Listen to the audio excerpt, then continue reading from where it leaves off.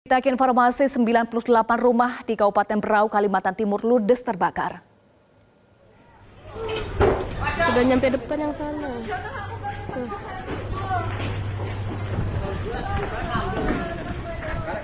Kebakaran menghanguskan 98 rumah warga dalam satu RT di Kampung Pegat Bukur, Kecamatan Sambaliung.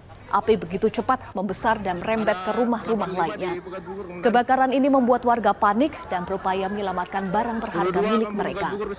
Kepala Kampung Pegat Bukur, Suharyadi Kusuma, menyatakan belum mengetahui pasti indikasi penyebab kebakaran.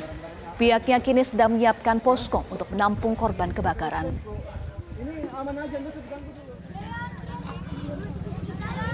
Meskipun tidak ada korban jiwa dalam peristiwa ini, ada 148 kepala keluarga harus kehilangan tempat tinggal mereka. Polisi masih mengumpulkan keterangan dari para saksi dan melakukan olah TKP untuk mencari tahu penyebab pasti kebakaran. Kerugian akibat kebakaran ditaksir mencapai miliaran rupiah.